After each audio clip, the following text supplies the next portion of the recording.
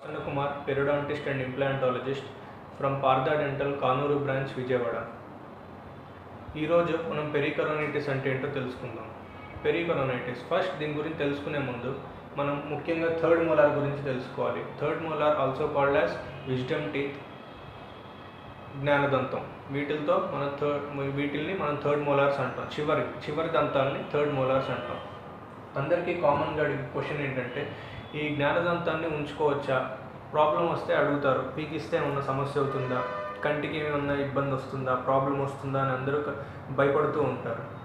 మెయిన్గా అసలు ఈ జ్ఞానదంతానికి ప్రాబ్లం ఎందుకు వస్తుంది అంటే మనం బ్రష్ చేసుకునేది చివరి పను దాకా వెళ్ళకపోవచ్చు. సో మనం తిన్న ఫుడ్ ఏంటంటే అక్కడ స్టక్ అయిపోతుంది. ఇది ఒక ప్రాబ్లం. ఇంకొక ప్రాబ్లం ఏంటి అంటే ఇది జ్ఞానదంతం కదా. దీనిపైన మన గమ్స్ అనేది ఏదైతే ఉందో అది వచ్చి ఒక పార్ట్ ఆఫ్ ద దంతం మీద పడిపోతుంది. పార్ట్ ఆఫ్ ద టూత్ని కవర్ చేసేస్తుంది. చిగురు గమ్ అనేది ఒక టూత్ మీద పడిపోతుంది. దానివల్ల ఏమవుతుంది అంటే మనం తిన్న ఫుడ్ ఏదైనా ఆ చిగురు చిగురికి పంటికి మధ్య చేరుకొని విరుకు విరుక్కుపోతుంది. అలా విరుక్కుపోయినప్పుడు మనం క్లీన్ చేసుకోకపోవడం వల్ల అలా ఫుడ్ అంతా స్టక్ అయిపోయి స్టక్ అయిపోయి తర్వాత తర్వాత తర్వాత ప్రాబ్లం అనేది అరేజ్ అవుతుంది. ఫస్ట్ స్టార్టింగ్ ఇనిషియల్ స్టేజ్లో ఏంటంటే చిన్నగా పెయిన్ ఉంటుంది. ఈ గమ్స్ అంతా ఇన్ఫ్లేమ్డ్ అంటే రెడ్ కలర్గా మారి ఎర్రగా మారి బ్లడ్ వస్తూ ఉంటుంది. ఇది ఒక ప్రాబ్లం ఇంకొక ప్రాబ్లం ఏంటి అంటే మనం కొరికేటప్పుడు ఈ చిగురు అనేది పంటికి దంతా ఈ చిగురు అనేది పై పంటికి కింద పంటికి మధ్యలో పడి నొప్పి వస్తూ ఉంటుంది. నవ్విన ప్రతిసారి ఈ పై చిగురు అనేది మధ్యలో పడి పై పన్నుకి కింద పన్నుకి మధ్యలో పడి నొప్పి వస్తూ ఉంటుంది. దానివల్ల కూడా మళ్ళీ మనకి ఏంటంటే చిగురు అనేది ఇన్ఫెక్షన్ స్టార్ట్ అవుతుంది. అలా కొరకడం కొరకడం వల్ల ఏంటంటే మళ్ళీ టిష్యూ అంతా ఇన్ఫ్లేమ్డ్ రెడ్గా రెడ్ కలర్ మారి బ్లడ్ వస్తూ ఉంటుంది. పెయిన్ వస్తూ ఉంటుంది. ఈ పెయిన్ అనేది ఏంటంటే ఈ చెవు నుంచి ముందు భాగం వరకు మొత్తం రేడియేటింగ్ టైప్ ఆఫ్ పెయిన్ అంటారు. అంటే ఈ చెవు భాగం నుంచి కింద దవడ మొత్తం రేడియేట్ అవుతూ ఉంటుంది ఆ పెయిన్. ఆ పెయిన్ ఇప్పుడు ఎప్పుడు నైట్ టైం రావచ్చు తినేటప్పుడు రావచ్చు ఎప్పుడైనా రావచ్చు ఆ పెయిన్ అనేది. సో మనం ఏం చేయాలి? ఫస్ట్ ఇప్పుడు పన్నుకి ప్రాబ్లం వస్తే ఒకటి ఒక టూ టైప్స్ ఆఫ్ ట్రీట్మెంట్స్ ఉంటాయి. ఒకటి ఏంటంటే ఉపర్కులెక్టమీ అంటారు. అంటే ఈ పైన ఉన్న గమ్ని తీసేసి కట్ చేసేస్తాం. ఆ కట్ చేస్తే మనకి ఆ టిష్యూ అనేది పై పంటికి కింద పంటికి పడి నగ నలగటం తగ్గుతుంది. దాని ద్వారా పన్ నొప్పిని అరికట్టచ్చు.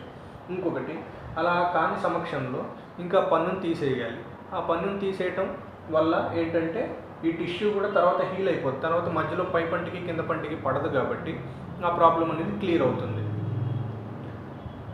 అందరి డౌట్ ఏంటంటే పన్ను ఉంచుకుంటే ఏమవుతుంది? ఉంచుకుంటే మనం మెయింటైన్ చేసుకుంటే బాగానే ఉంటుంది. బట్ వన్స్ ఆ ప్రాబ్లం వచ్చింది అంటే it's better to go for extraction. అంటే పన్ను పీకిచ్చేసుకోవడం బెటర్ అనమాట ఎందుకంటే మన హైజీన్ మెయింటెనెన్స్ అనేది చివరి దంతం దాకా వెళ్ళదు.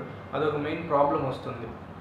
ఇంకొకటి కొన్ని కొన్ని సమస్యల్లో ఆ ఓపర్ క్లెక్టమీ అంటే ఆ చిగురుని కట్ చేసినా కానీ మళ్ళీ రికర్ అంటే మళ్ళీ వచ్చే ఛాన్స్ ఉంటుంది. మళ్ళీ గ్రోత్ అయ్యి ఆ పంట మీద పడి తిన్న ఫుడ్ అంతా కింద చిగురు మధ్య కింద పడిపోయే ఛాన్స్ ఉంది.